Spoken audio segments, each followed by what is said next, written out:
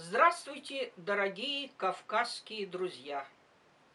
Я Илюшечкина Зинаида Парфеновна, родная сестра героя Советского Союза, Барбашова Петра Парфеновича.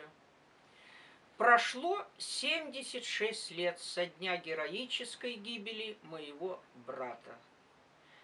Говорят, что время лечит, но для нас, его родных, это невосполнимая потеря и незаживляющая рана.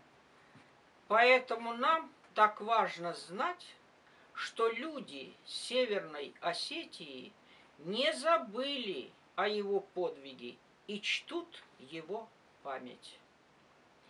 И мне хочется искренне, от чистого сердца, поблагодарить руководство республики и города Владикавказа, создателей памятника и мемориала Барбашова поля, а также всех людей, которые, кто помнит подвиг моего брата.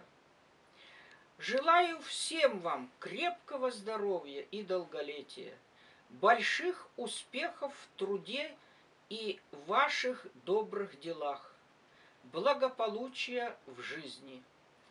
Дай Бог нам всем мирной жизни, чтобы не пришлось больше терять своих близких на полях сражений.